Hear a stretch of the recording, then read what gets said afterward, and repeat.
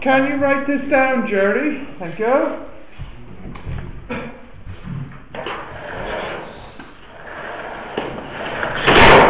Oh, wow. Coffee, coffee, coffee, coffee, coffee, need coffee. Ah! Ah! Leave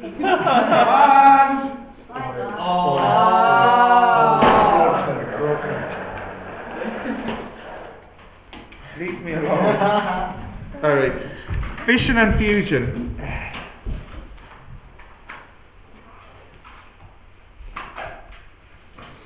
Got that?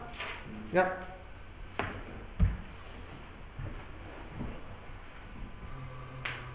Hang in there now. One more day to go, Andrew. Alright. Continue? Yes. Right, so, uh, this is the concept fission. What you have is, uh, for example, a heavy atom, a heavy isotope like uranium. What specifically uranium? Huh? I haven't. Why do you have a question? I've only said one sentence so far. What's your question? It could be like the other, another element. Listen to me. Listen to me. For example, if you have something heavy like uranium 235, this is an example of what fission is. So, what you do is you take something like a neutron and you fire the neutron at the uranium. And this causes the uranium to break into two. So it becomes krypton and uh, I think this is barium. It splits into two and three neutrons break off.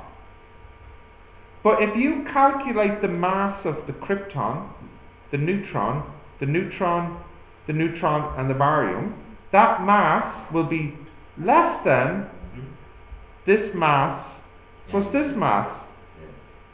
So, by Einstein's formula last day, there will be energy produced from the nuclear reaction. And this energy will equal mc squared, where m is the apparent loss mass. So, this is the uh, example uh, of fission. Basically, it means to break an atom, a heavy atom, apart to release energy. And it's easier to break big isotopes than small isotopes. Because when it's a big isotope, it, it, it's already. We saw on our graph the last time that at the end of the graph you start to move down. And at the end of the graph is uranium. So the binding energy per nucleon is reducing towards the end of the periodic table. So these heavy, heavy atoms, uranium, they're easier to split and you can release this energy. So what I need you to do before we write down the definition, this picture actually, if you can copy this picture, it's useful. It's helpful to remember what it is. I would like you to roughly draw this, Sean.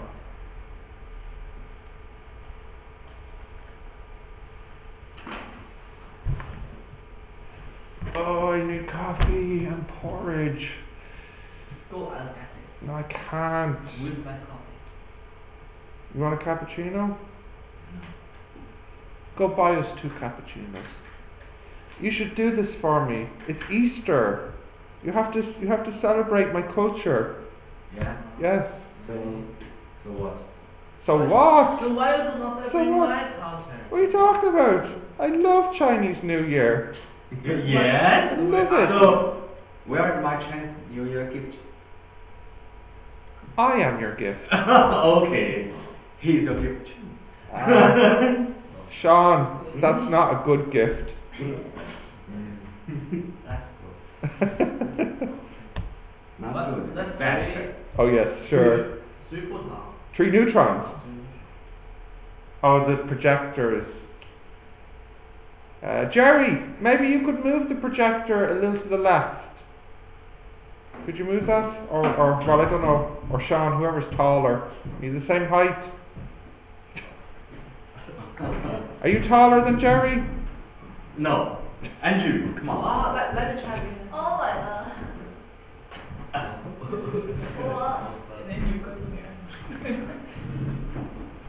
Ah, Oh, yeah, what are you doing? Oh. ah, ah. Oh. Huh? You no, can't- let me show you. Okay. No, no, don't do anything.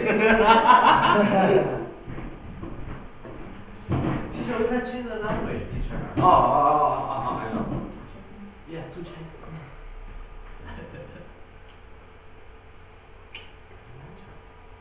Now, what did you do, Sean?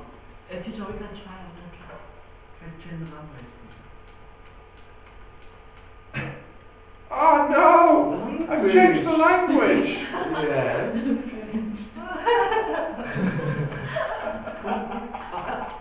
Right. Wow, this is no French. How do I? French. Oh, that's not what. Oh.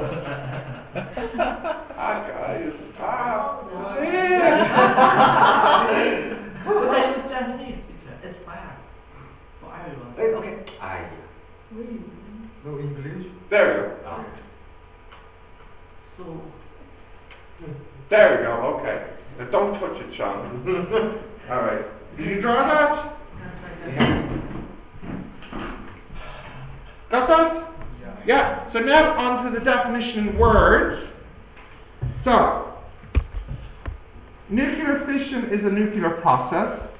It's when an atom splits apart into smaller atoms. The process gives off a lot of energy, and it's used in a nu- it's used in nuclear weapons and nuclear reactors. And nuclear reactors means nuclear power plants. No. So I think um, China has nuclear power plants. Um, South Korea has nuclear power plants.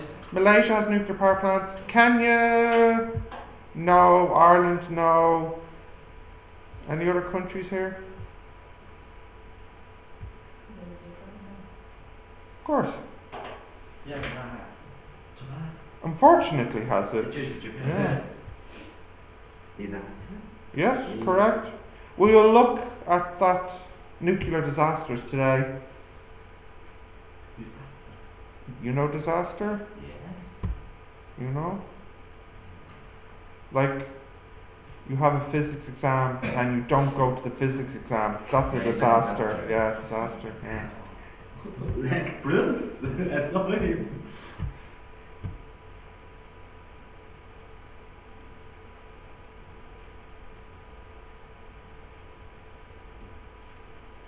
Got that? Stephen, by the way, Yeah. when when uranium uh, is doing physics, Yes. Uh, they divide to chromium, no, Uh, I barium. think it's krypton. krypton and barium. I think it's barium, yeah. Could it be the other element? No, actually, it's uh, interesting, but uh, it's always these two. I know what you're saying. Could it split so that it's two different elements? No, strangely, it it uh, splits to make these two only. I'm not sure exactly the uh, like. I, I don't know. The calculation must be very difficult to work out what it will split into because it's like saying I fire something at the window and I want to know how the window will break. You know, wh- which way it'll part. So I, I wouldn't wouldn't imagine it's an easy proof, a calculation. Uh, okay, you got this? Yeah. So the next one, uh, or the next idea is something called a chain reaction. So you notice when you have um, fission, you get two smaller atoms, energy, and then usually something like free neutrons. So you realize, oh, if I um, if I have my atoms close together, then when I break one of them and they split. The part yeah yeah the parts that break off could hit more atoms, and they could break again and hit more atoms. Repeat. So repeat in process. So this first one can break two, and then each of these can break two more. So this is what's called a chain reaction, where one fission process causes two more, and they cause two more. So the first one is called the first generation. Then the next process is called the second and third generation, and so on. So again, can you draw this diagram? This is an example of what's called a chain reaction.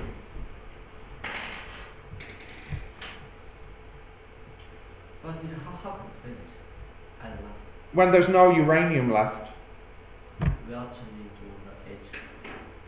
No. huh? We are the I, atom. Yeah. We are changing to H. No, no. H. Here and BA. No, no, yeah, yeah, KR and Ba. When they all turn into KR and Ba, krypton and barium. So what does it change into K R and B? Yeah, it's not on the picture.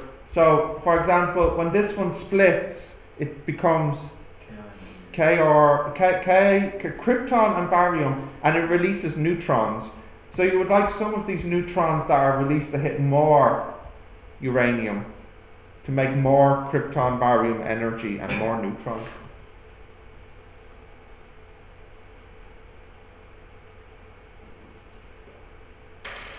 Then are krypton and barium stable?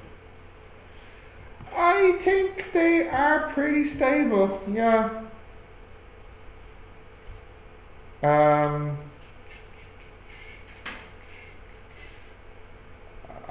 I, I, I'm pretty sure they're stable.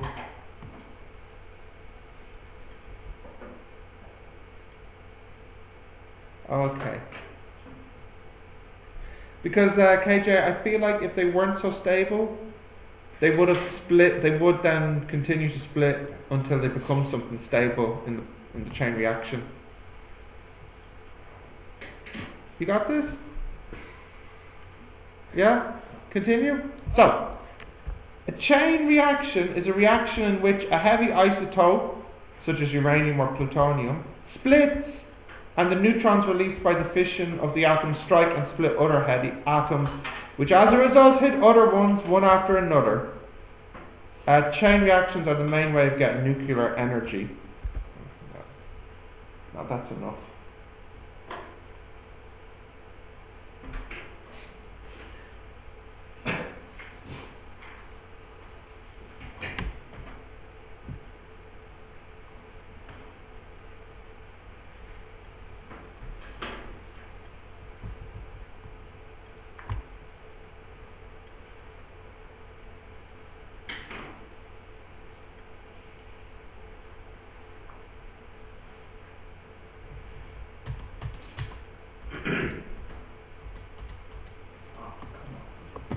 Oh. Oh, give me a break, Jerry. Don't be so annoyed at me. Come on, teacher. Come on, Jerry.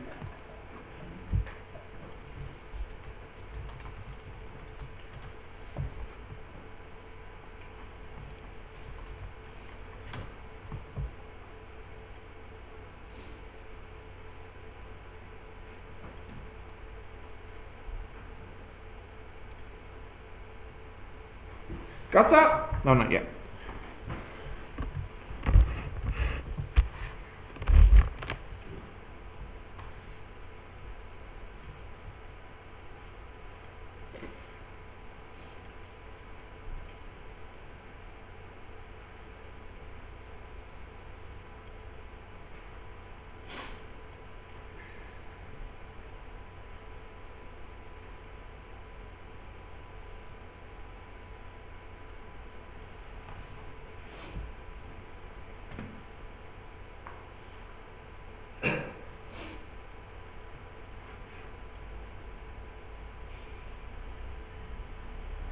Got that? No.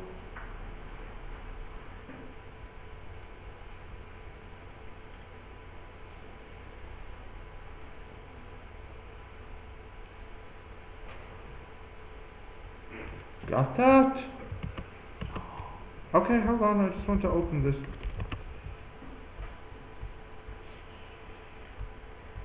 Come on, John! I'll give you. What word are you on? Uh, last sentence. Last sentence? This is only one sentence.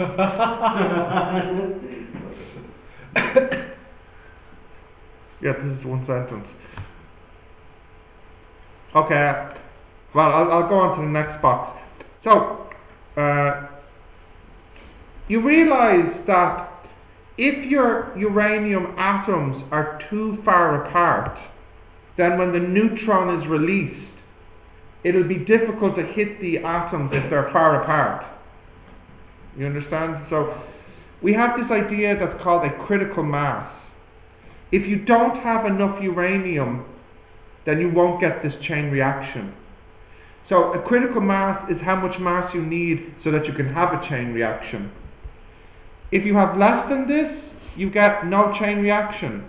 And if you have more than or equal to this, then you can get a chain reaction. Uh, so, I don't think you have to write this down because this is just explaining the idea. But you definitely need to write down what critical mass is. And let me just uh, fix something here.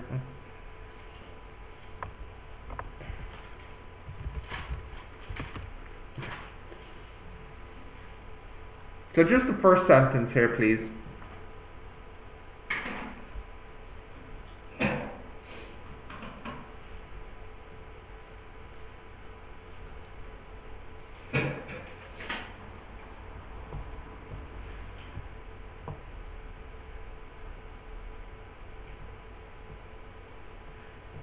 We use this word, uh, this term, critical mass in English. Does anybody know the meaning in, in English of critical mass? It's when we talk about a business. You understand that if the business is too small, it might not be successful. But when the business becomes a certain size, it becomes big enough that people can know about it and they can go there and you know it can be successful. So in English, this critical mass means like a point that you need, and then when you're past it, then lots of things can start happening by itself. So, you know, something like Google. At one point, Google was so small, not many people know about it. But now Google is so big, they don't need to do anything. Everybody knows to go there when they need to search. So they've passed the critical mass. Okay, continue. Yeah. So, um, let's see. Yes, I think this would be good. So, this is, well, kind of. This is how you can use nuclear energy to make uh, to make a power in a power plant. So, how does this work? Let me explain it. You have these things here. Can you see uranium fuel elements? Now, this uranium is decaying. It's releasing lots of energy. So, in fact, it's very, very hot. And it's so hot, it makes this sodium turn into a liquid. And this sodium moves through a pipe and goes into some cold water. Now, what happens to this cold water when it's near a hot pipe? It boils and it'll turn into steam.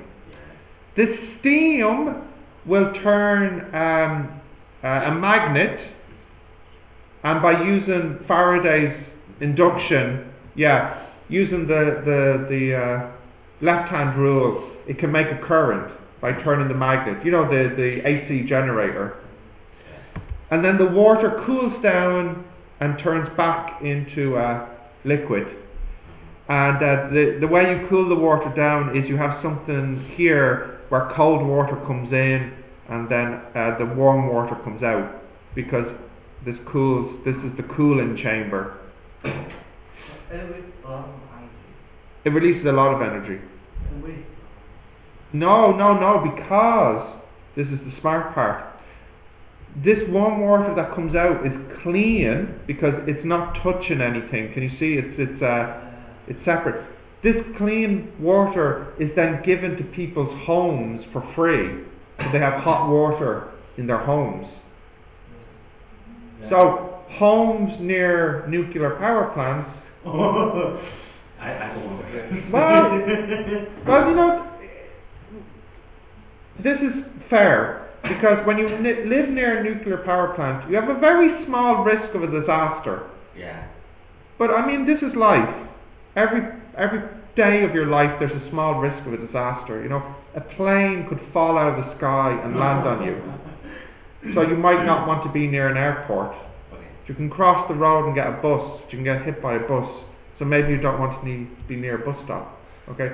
So the people that live near the power plants, they are compensated because they get free hot water.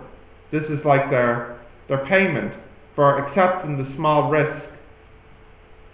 Then they have free hot water. Is it small risk? It is a small risk. The problem with nuclear power plants is when they fail, they fail in a big way. It's not like a power plant of coal or oil. When they fail, then it's a fire, but you can control the fire. Nuclear is different. So, what we need to talk about is what goes wrong. Okay? These nuclear rods get really, really hot and there's lots of energy and neutrons being released. So the way to reduce this is we have this thing called a, a, a control rod. And the control rod is usually made of something like carbon. So what happens is you have this nuclear rod, there's lots of energy coming out of it, uh, and if you have too much energy, you put these control rods, uh, they, they put this cover on the uranium and this reduces the energy because the carbon absorbs some of the neutrons. I, I think it's carbon, but I can check for you. Yeah. It, I think it's carbon, yeah. So, uh, what happens, like in Japan or other places when you have a disaster? Most of the time, the problem is with the control rods. This is where the problem happens. Because what happens is the control rods get stuck. They get jammed and they're unable to drop on the uranium. So then what happens to the uranium? It gets hotter and it gets hotter and it gets hotter. And this is a problem because it'll just keep getting hot until it explodes. There is no capacity to the control rod, like how much they can absorb the heat. No? Um, I'm sure there must be some limit at some point, but what's happening here, uh, Andrew, is when the control rod is down, it's absorbing energy, but it's stopping the energy traveling to the neighboring control rods. So it's it's limiting the chain reaction. Uh, so it's like it acts as a barrier to the chain reaction as well. Now, I believe most of the time there's a nuclear disaster, it's because the control rods fail. Uh, in Japan, it was because of an earthquake. Uh, the last nuclear disaster, does anyone know the one before Japan? The last big one? Chernobyl. Chernobyl. Russia. Yeah, yeah. One. 1972. No, no, 80. That's Russia. Ukraine. Ukraine, yeah, yeah. The same thing happened there. Uh, what happened was the control rods failed to drop, but um, there was another disaster in America, I think in Long Island. Again, the same problem, the control rods failed to drop. In Long Island, the problem was caused by a faulty uh, control panel. The control panel uh, did not send the signal to drop the, the control rod. So, in, in the example of Long Island, uh, what happened was uh, the machine said press to, to drop, uh, and then something was stuck. It didn't drop. But the machine thought it did drop. So people didn't understand why the reactor was getting hotter and hotter because their machine said the control rod was down, but it wasn't actually down. And if they knew the problem, maybe they could have freed it, but they were just they just didn't know what the problem was. And the problem was bad engineering design because the machine that sends the signal to drop the control rod, it sends a signal back that the control rod is dropped, even if it's not dropped. So the signal is sent to drop it, but there's nothing to check that it has dropped. It's like if I press a button to close the door and the computer says the door is closed because I pressed the button, but there's actually something stopping the door closing. You know, so bad engineering was the Long Island one. Uh, in Chernobyl, uh, the connection here to the top where you have the lever, uh, this melted, and when it melted, it then jammed. There was a problem there. And in Japan, it was because of the earthquake that damaged it, because they weren't expecting an earthquake so big. So the machine, the reactor wasn't designed for such an earthquake. Can it stop it? Can what stop it? Oh yeah, so what do you do if this happens? How do you stop it? So what usually happens like in Japan and Chernobyl, you're usually near need to be near like a river or an ocean. When these rods get so hot, there's an emergency emergency uh, hole here that's connected to the ocean. So what they do is they open this and let all the ocean water in. And their job is to try and cool this down Well, How can it cool it? by letting lots and lots of ocean water in. So the ocean water fills the chamber and then comes out. Do you understand? So they really put lots of cold water in there to try and cool it down quickly. Because if they don't cool it down, then you have a big problem then. That didn't work. Well, it worked in Japan and it worked in Chernobyl. Huh? It will be, but because the size of the ocean is, is it's okay. I mean, the alternative is you let the reactor explode. This is not an alternative, you know. But of course, um, the good thing is because this is mostly alpha radiation, it means that it's not as bad as if it was like beta, because the distance is quite short. So in the in the water, the people that go into the reactor, you might think that's a very dangerous job going into the reactor. Yeah, like the scuba divers. Because when this is cooled down, somebody has to swim inside and push these down. That's somebody's job. What? Yeah. Is it that big? How big? Ah, no, this will be pretty big. This will be pretty big. But it's actually not too bad because of the water. It means the alpha radiation will be blocked by one meter. So if you stay one meter away from this, it should be okay. Well, it depends what the reason is. So, like for example, in Chernobyl, if the top melted, you would need to maybe burn this away, like with a blowtorch of some kind, uh, and then you can push it down. If once you free it, like maybe you could cut the top off and then push it down or something like this. It depends what the reason is. Well, I mean, I suppose nowadays, like what we what wasn't true in Chernobyl is that there wasn't any robots. So like nowadays, I suppose you could have some kind of remote robot, some sort of underwater robot that perhaps get in here. But you couldn't do that in 1982. You know, but at least now you could probably do that. So you're right, nuclear power plants are dangerous, but how often is there a disaster? Maybe once per 10 years? Once per ten years. Well, think about it. There was Japan, Yeah, and then there was, okay, maybe more, maybe once for 20 years. You have Japan, you have Long Island, and you have Chernobyl. They're the big three. Hmm. Yeah. Now, Japan, I know was very bad, but you know it didn't explode. Now the neighbouring town is still radioactive and needs to be cleaned up. The same in Chernobyl, but it didn't explode. You know. Yeah, yeah. In Chernobyl, the ground is radioactive from the smoke that came out. Uh, in Japan, the neighbouring town is still radioactive. It needs nobody's allowed in. It needs to be cleaned up. Long Island was quite remote, so it didn't cause as much damage. How to clean the Yeah. How to clean it up? Well, in Chernobyl, it's impossible now because so much time has passed before anyone cleaned it up that it sunk into the ground. So you can't clean it up. So it means now you'd either have to wait thousands of years for it to decay, or somebody will have to dig the ground up and remove the, the soil. Change the Change the soil, yeah, but that's going to be too difficult. Huge work, huge work.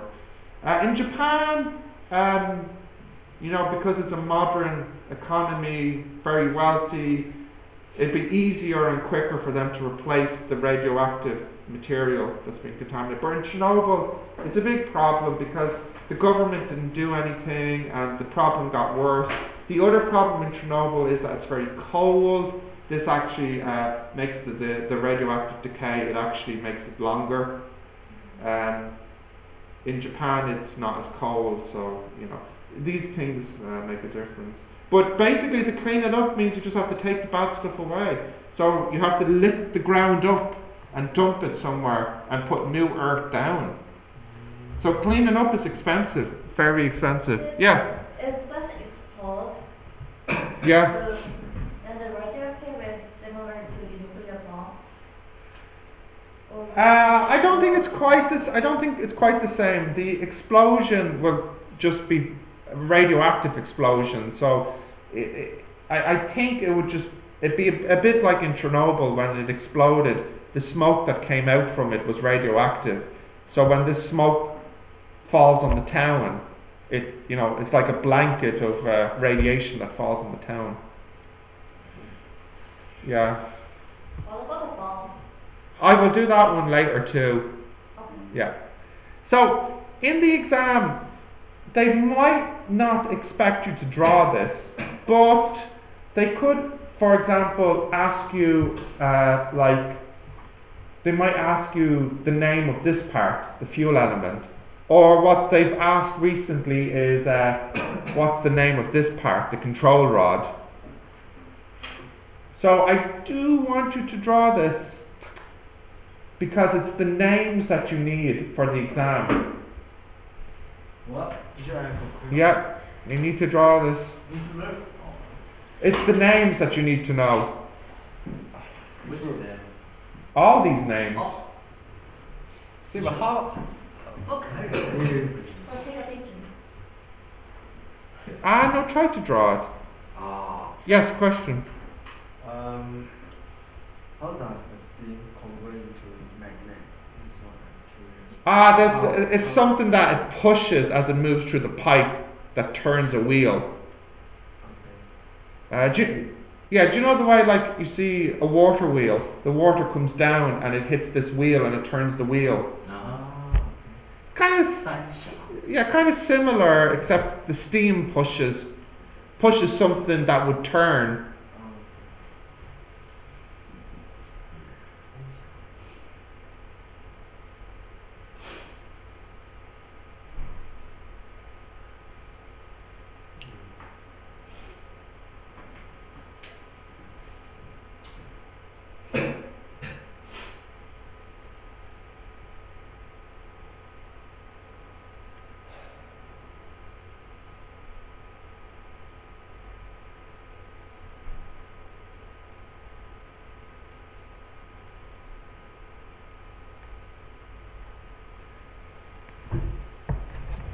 Now I know this seems scary, but to be honest, uh, if we're talking about energy in the future, um, really it needs to be a mix of many things. You need to use coal, you'll need to use oil, you'll need to use nuclear. some countries don't have nuclear, and some countries have too much nuclear. Does anybody know? No, I wouldn't say America now. America uses a lot of oil Yeah. still. Does anybody know which country has the most nuclear power plants? Germany.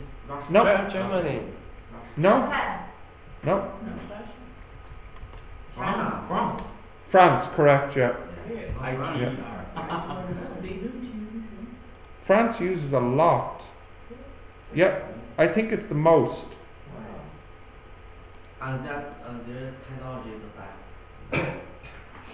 So in France, the percent of electricity that's made by nuclear power plants is 72%. Mm, 72% of the energy made in France is from nuclear power plants.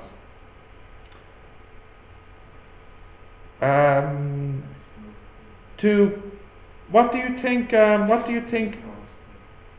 What do you think it is in the United States? Yeah, you're not far off. 19.7. And the UK? twenty point four. Russia, seventeen percent. Seventeen. Seventeen. One seven. Japan. Let's see. Japan. Japan. Go on. Have a guess. What do you think Japan is? Forty something. Fifteen. Fifteen. Twenty-five. Twenty-five. Forty. 40, 18. You're all too high. Get ready for this. Ten. 2.2. And then you get the gases. Yeah. All about Korea. Wow. Korea, Korea, Korea. uh, Korea, Korea. Republic of uh, 30. Thirty. 30. How about China? China, have Seventeen? have a guess. What do you think? Seventeen. 17? five. Ah, yeah, 3.6. Ah. Oh. So we. Ah, don't be disappointed. Ireland is zero. What? We will feel more. Last year's better, right? I mean, Different No. countries have different needs. Mars. France, France don't need seventy percent. That's too much because France have other things they could do. They have solar or wind. Yeah. Simple, but efficiency. No. Nuclear power plants are not. Uh, they're very, very, very expensive. They're very expensive, and not only are they very expensive, the money that you save is really zero. So, like, if you're a country and you have a choice between coal, oil, gas, nuclear, the only reason you would choose nuclear is political. Political. Yeah. That you don't want your country dependent on Middle Eastern countries or other countries for a supply of oil. And I did clear, Huh? clear energy. yeah, isn't it clear? No clear. No, because It's there's. the Nuclear waste, the not, uh, how to say, uh, the less, uh, pollution to natural. Yeah, If much better not, than that's coal. better. But the problem with this is the fuel rods. When you're finished with the fuel rods, Yeah. what do you do with them? Because they're still radioactive. Yes, everything to uh, universe. Put the box. Into the Well- PB box. PB box. In in France, they put it into concrete mm-hmm. and they bury it at the bottom of the ocean. Yeah. And then they thought that this will last for 500 years. However, when they visit 10 years later, they can see that the concrete has started to crack. Yeah. So it means that at the bottom of the ocean near France, the waste is coming out from the ocean floor. So what they do in the UK is they have uh, plants that try to clean the the used uranium. But this also produces waste that is released into the ocean. And it's quite annoying because they put the nuclear waste plant on the west coast uh, so that the water travels across to Ireland. What? Yeah. Yeah. It's- can, can we use a It's disgraceful because we don't have any nuclear power plants, but our coastline has more radiation than the coastline of the UK, who do have nuclear power because they pump their waste into the ocean pointing towards us. This is one of the many, many reasons that feelings are uh, the way that they are. It's same as Japan. They are assholes. Ah, no, no, no, no, no, no, no. Really? No, no, it's worse here. It's worse. Um, I, I, I'll show you here. Uh, can I just close this picture and show you something here? Yeah. Yeah. Not yet.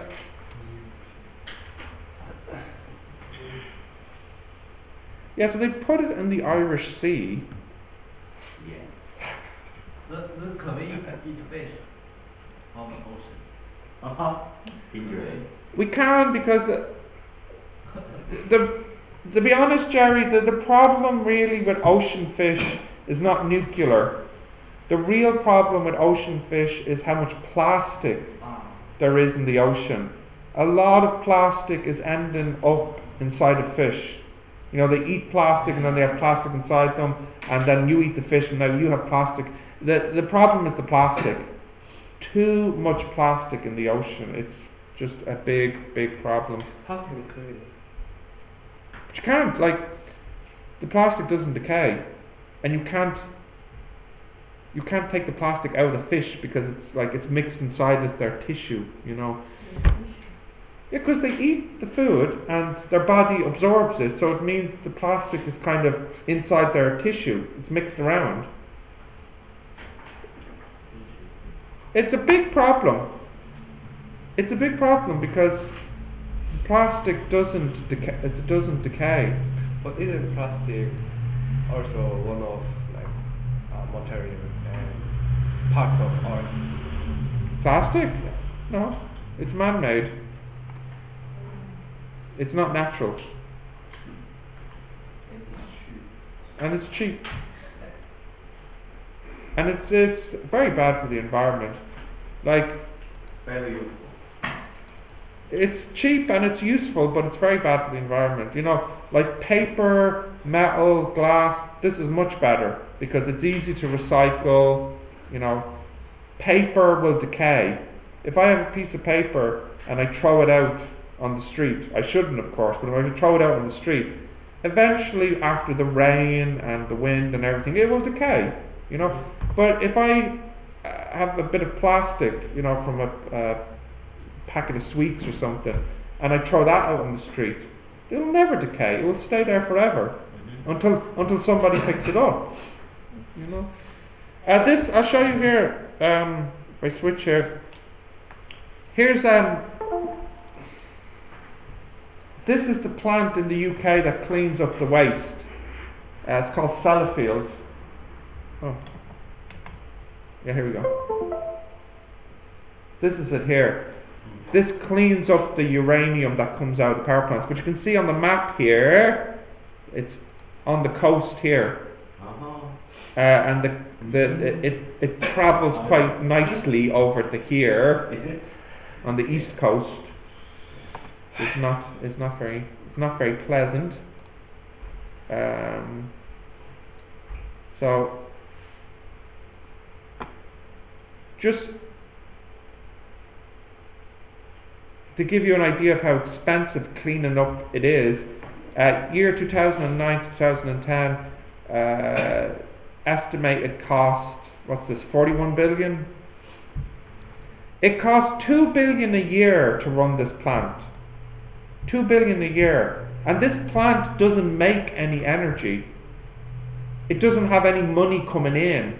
It's only cleaning up the energy. It's not like a power plant that has money coming in because it's making power. This is only a cost. 2 billion a year. So with the nuclear, when you balance the everything, I don't think it's as good as uh, coal or oil. You know, like I said, the reason for nuclear is political. You want your country to look strong, you have nuclear power. You don't want to depend on Saudi Arabia, like in France, you have nuclear power.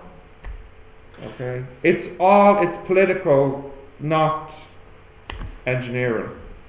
Yeah. Um, if we use uh, clear energy like solar power, Yeah. and if we have transformer, couldn't we um, Yeah, the problem the problem with the clean energy, the solar, is how to store it.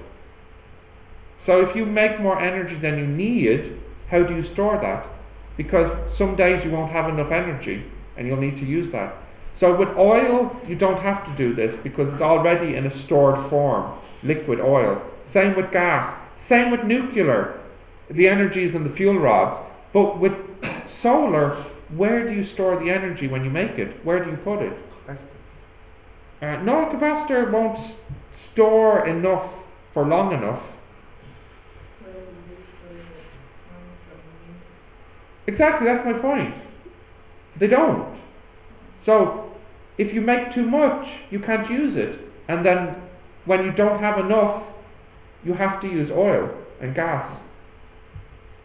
So, this is the biggest problem. The biggest problem with clean energy is when you make it, how do you store it?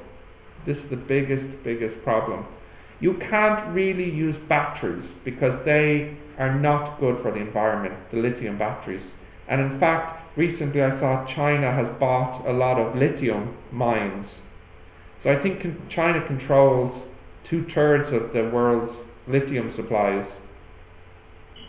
Oh, If you have a lithium battery, you know lithium Oh, yeah, alloy, yeah, yeah, yeah, this is perfect. the lithium probably came from a mine that China owns.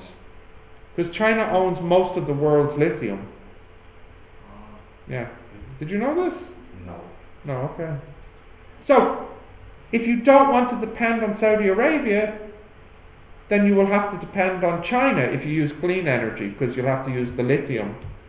If you don't want to depend on China, then you have to depend on somebody else, you know.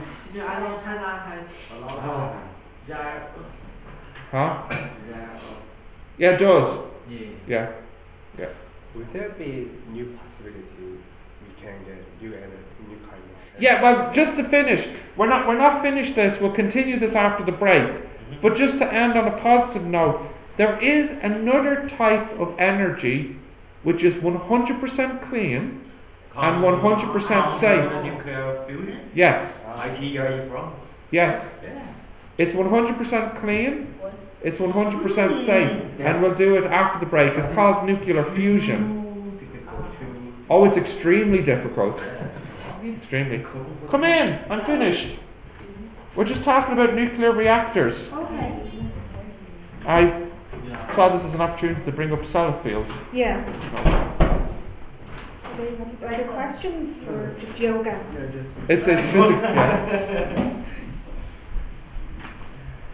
Yeah. Uh, I was explaining how unhappy I am with, you know, Sellafield's existence and all of that. You know. yeah. Uh, this is interesting. Um, it's a chart of which country, pro- uh, how much of their energy is produced by nuclear. So I knew France was the highest, but I didn't know it was 72%.